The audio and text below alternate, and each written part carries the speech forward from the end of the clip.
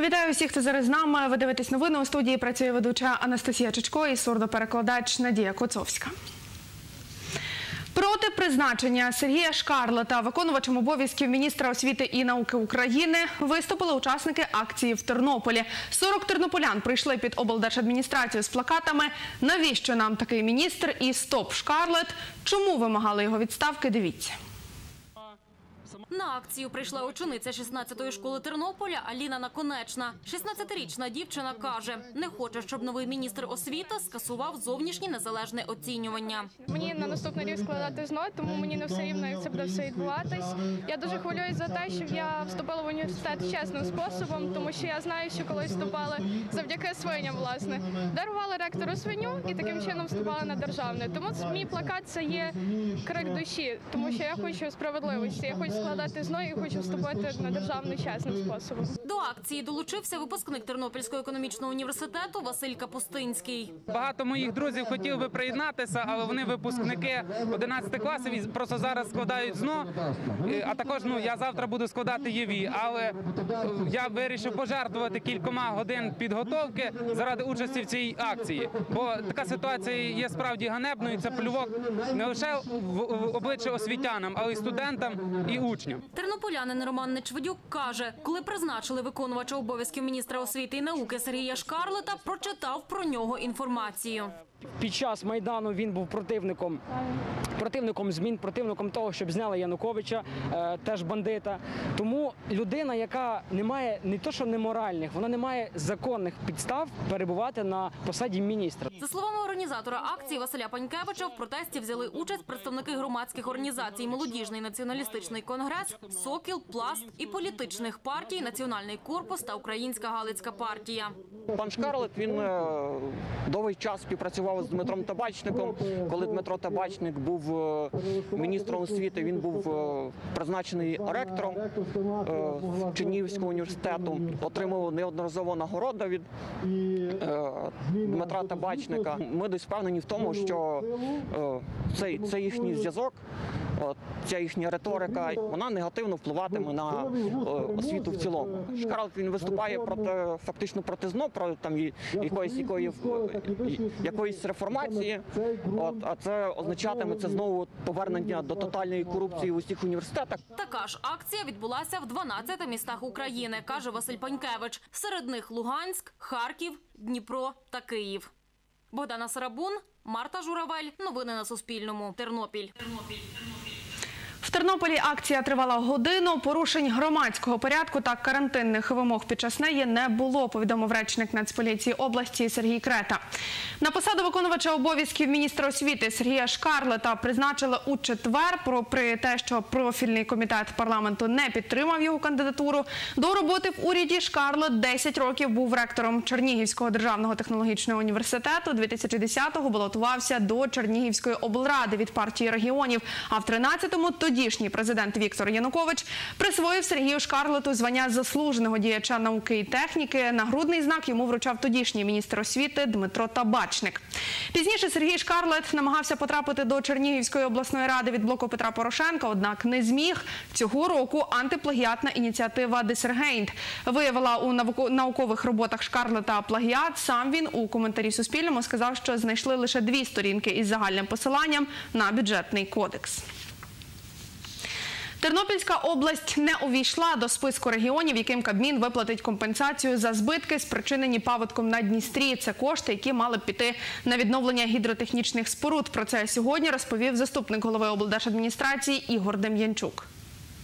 Тоді, коли відбувалося позачергове засідання е, е, уряду, е, в цей день тільки у нас очікувалася паводкова хвиля, яка йшла з Івано-Франківської області. Ми не могли на той момент передбачити ті збитки, які відбудуться. І так само ми не могли надавати якісь цифри, які будуть недостовірні. Ми і ще й зараз не можемо надати достовірні ці цифри, бо тільки зараз проходить підрахунок цих всіх збитків. Це є Устя Зелена, це є Коропець, це є Вістря. Тобто там, де органи місцевого самоврядування мають скласти акти, де вони мають чітко підрахувати розмір збитків. кожної е, окремої фізичної е, особи, людини. е, І після цього тільки ми можемо назвати цю суму. Хочу запевнити, що кожен, хто зазнав збитків від цієї стихії, отримує матеріальну допомогу. Це ті 63 дом- домоволодіння, які будинку володіння, де були підтоплення. Кожний, хто вважає, що він претендує на таку матеріальну допомогу, звертається заяви до органу місцевого самоврядування, і орган місцевого самоврядування складає акт. І на підставі цього акту вже відповідні комісії і будуть розглядати ці акти районних державних адміністрацій. За словами Ігоря Дем'янчука, якщо сума збитків, завданих повенем, буде меншою ніж 75 мільйонів гривень, її відшкодовуватимуть за рахунок місцевих бюджетів. Якщо у місцевих бюджетах не вистачить грошей для компенсації, її виплачуватимуть з резервного фонду області. Зазначу, на Тернопільщині через паводок на Дністрі досі підтоплені 109 будівель, близько 600 гектарів городів і 62 криниці. Вода ще не зійшла у 20 селах області. Про це повідомила речниця пожежно-рятувальної служби Тернопільщини Ірина Крупа. За її словами, рятувальники відкачують воду у чотирьох районах: це Заліщицький, Монастириський, Борщівський і Бучицький. У селищі Коропець Монастириського району, яке підтопило найбільше, рівень води знизився, каже Ірина Крупа. Також за її словами, 107 жителів Коробця, яких евакуйовували через паводок, в неділю повернулися у свої домівки.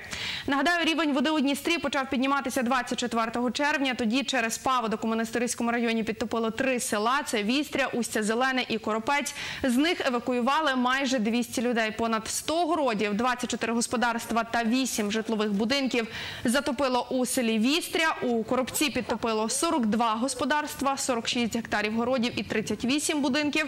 І у селі Устя Зелене вода розмила частину дамби, яка захищала від потоку води сільськогосподарські угіддя. Затопило 600 гектарів сільгоспугідь. Загалом через, через розлив річки Дністер підтопило 21 населений пункт у чотирьох районах. Це Монастириський, Бучицький, Заліщицький і Борщівський. Ні трудовому рабству з такими плакатами у Тернополі вийшли на акцію протесту члени профспілок. Біля облдержадміністрації вони протестували проти змін до трудового законодавства. Про це розповів голова обласної ради профспілок Андрій Присяжний. Захід тривав півгодини. 30 учасників були у захисних масках і дотримувалися дистанції. Розповів поліцейський Руслан Возняк. Чого вимагали протестувальники? Дивіться. Третьякову геть! Позбавлення її депутата Верховної Ради, народного депутата України.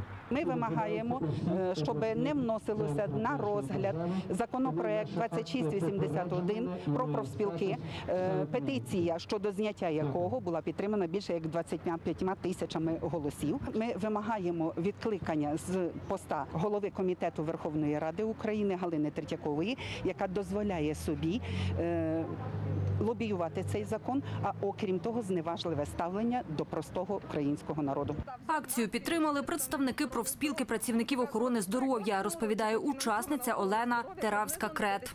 Якщо приймуть вказані законопроекти, проти яких сьогодні виступає е, профспілка, це законопроект е, фактично розглядається е, новий трудовий кодекс. Зараз створений спільний представницький орган, який це розглядає, який суттєво звужує права найманих працівників. Фактично найманого працівника перетворює у раба безправного, який не буде мати е, порівняно з чинним законодавством, суттєво звужуються його права. Акція відбулась в усіх областях України. Вона попереджувальна, каже голова Тернопільської обласної ради профспілок Андрій Присяжний. Він передав звернення голові обласної ради Віктору Овчаруку та попросив надіслати його до президента України та голови Верховної Ради України. Проспілкові активісти сьогодні звернулися до Тернопільської обласної ради як найвищого представницького органу на території області і до голови обласної державної адміністрації з тим, щоб вони не допустили порушення кон- конституційних прав і свобод в першу чергу найманих працівників. Кіровоградська обласна рада, Житомирська обласна рада, Чернігівська обласна рада вже підтримали вимоги проспілок. Звернення учасників акції розглянуть на сесії обласної ради 6 липня, розповів голова обласної ради Віктор Овчарук. Марія Котенко, Андрій Прокопів. Новини на Суспільному. Тернопіль. Законопроєкт номер 2681 про діяльність профспілок до Верховної Ради зареєструвала депутатка Галина Третьякова 27 грудня 2019 року. Комітет з питань соціальної політики Верховної Ради України рекомен- рекомендував до прийняття проєкт цього закону 20 травня 2020 року. 28 травня головне науково-експертне управління Верховної Ради визнало протиправність положень цього законопроєкту. За словами Андрія Присяжного, цей законопроєкт передбачає обмеження права громадян України на свободу об'єднань у профспілки, позбавлення профспілок права власності і обмеження права брати участь у колективних переговорах.